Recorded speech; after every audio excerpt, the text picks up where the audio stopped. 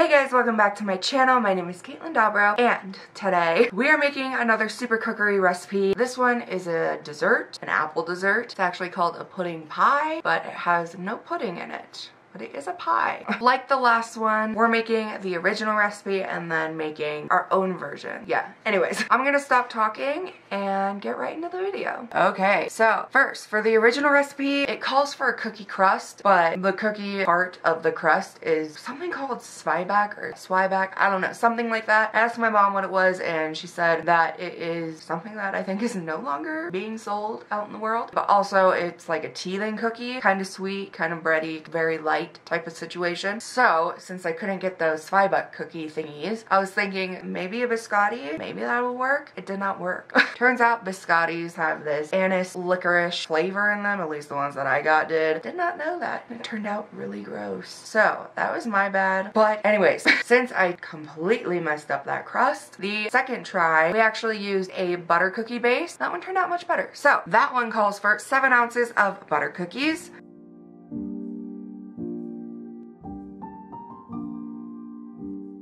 1 tablespoon of granulated sugar, a heaping fourth a teaspoon of cinnamon, and a heaping eighth a teaspoon of nutmeg, and one stick of unsalted melted butter. And that just gets all mixed up and pressed into our pie tin.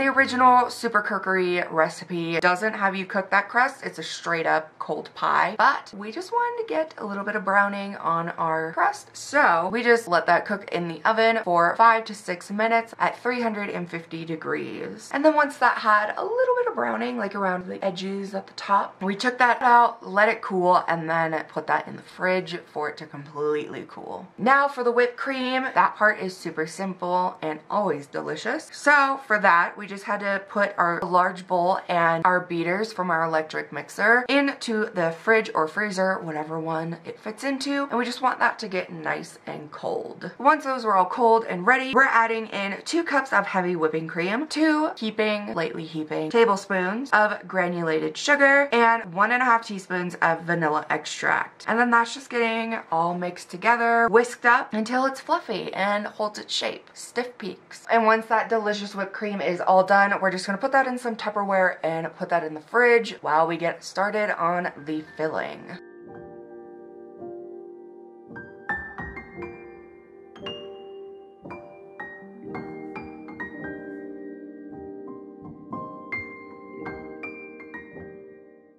Okay, so this is the part where we really changed it. The original filling is an apple puree. That's literally just some steamed apples in either apple juice or water. And once they start to get a little soft, you put that in the blender and just blend that up. It's straight up applesauce on a cookie crust with some whipped cream. It's not right. that texture does not belong, or at least did not work for me, on a pie crust with some whipped cream. And I usually don't care about textures. I'm not a big texture person. I don't really care. But this, it was odd. So for the remake of it, I just wanted to do some regular apple pie filling. So that calls for four Honeycrisp apples and two Granny Smith apples, peeled, cored, and thinly sliced up.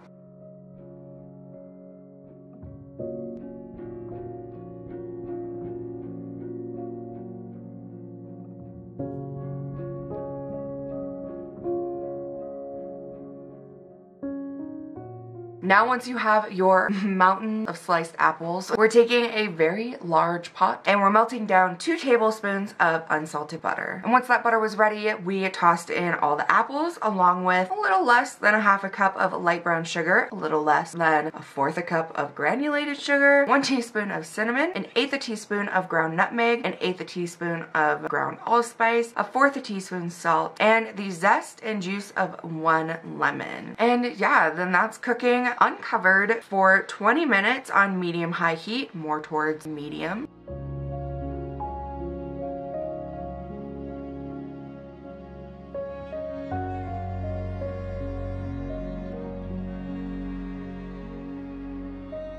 And once that's reduced down and a lot of liquids had come out, we're gonna thicken up that juice with one tablespoon of cornstarch. And again, we're gonna cook that for another five minutes. So in total, that apple pie filling cooked for 25 minutes.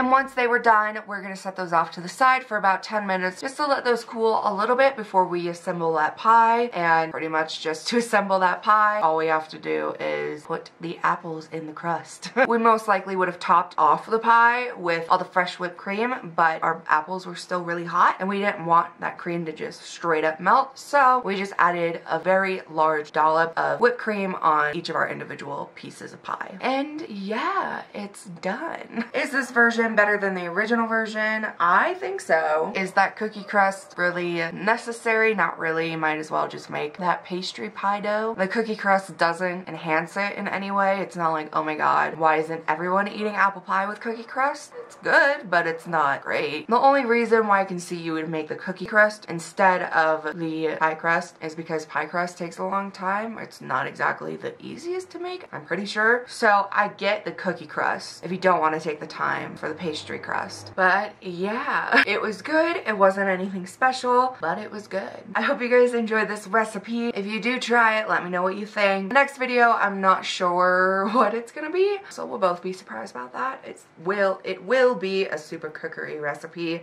again. But yeah, that's about it. Not too much else to say about it. Again, I hope you guys enjoyed this recipe and I'll see you guys very soon. I love you guys so much. Bye!